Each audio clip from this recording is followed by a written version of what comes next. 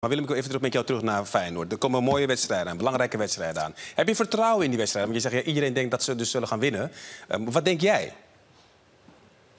Ja, wat ik denk is het niet zo belangrijk. Uh, het gaat erom dat, dat, hoe zij denken. Dat is het probleem. Er is totaal geen vastigheid. Uh, maar dat is, de, denk ik, we hadden het net over, door de hele competitie niet. Als je het verschil ziet tussen de drie onderste en de, de achtste, geloof ik, er staat vijf of zes punten. Ja. Dat is zo gek, of niet? Als je even de stand erbij pakt, dan zie je het helemaal uh, goed. Want het zit al heel dicht bij elkaar ja. natuurlijk. Uh, kijk nu even naar PSV Ajax, die staan bovenaan. Ajax zullen het straks over hebben. Feyenoord daar op die derde plek. Maar eigenlijk begint het al vanaf, nou ja, laat zeggen VVV, achtste plek, 29 punten. Naar beneden, naar de Graafschap is het maar 10 punten. 11, wat is het? 11 punten verschil. Ja, is het is dicht bij elkaar. Het zit heel dicht op elkaar. Zegt het iets over de kwaliteit aan de bovenkant of zegt het iets over het feit dat. Nou, het... ik, ik, kijk, ik vind normaal moet PSV, Ajax, Feyenoord, die moeten gewoon ver weg zijn bij de rest. Dat is gewoon een goed teken. Dat is altijd door alle jaren heen is dat gebeurd. En dan komen ze ook internationaal weer aan bod. En het is niet leuk als we elke keer die kan van die winnen, die nee. Zij moeten gewoon constant winnen van al die kleine ploegen. Maar dat gebeurt niet. En wat er daarmee gebeurt, hè? nee, nee dat, dat zien we niet. Ja. Maar het zou goed zijn voor het Nederlandse voetbal als dat wel gebeurt. Ja, maar dat, dat is, zo is het altijd geweest. Ja.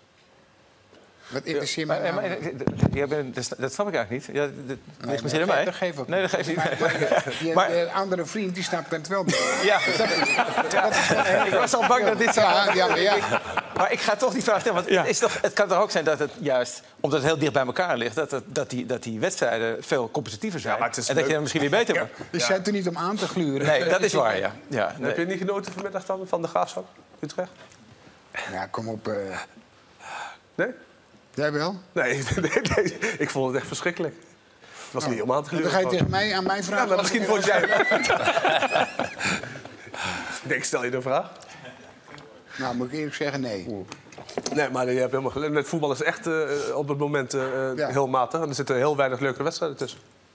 Ja, maar daardoor kan Excelsior wel winnen van Feyenoord. Ja, maar deze twee jaar geleden ook, dus. Ja. Die kampioenswedstrijd. Daar was ik ook toevallig met uh, 3-0. Dat kan je ook niet voorstellen. Dan word je kampioen. Week later. Ja. Gewoon, ze wilden thuis gewoon kampioen worden toen. Nee, dat, was natuurlijk, dat is zoiets moois. Maar dat is zoiets moois als je dat publiek ziet en die mensen. Zo, dat geeft zoveel vreugde, maar, maar ik word niet uh, vrolijk van de, het voetbal als ik uh, eerlijk ben.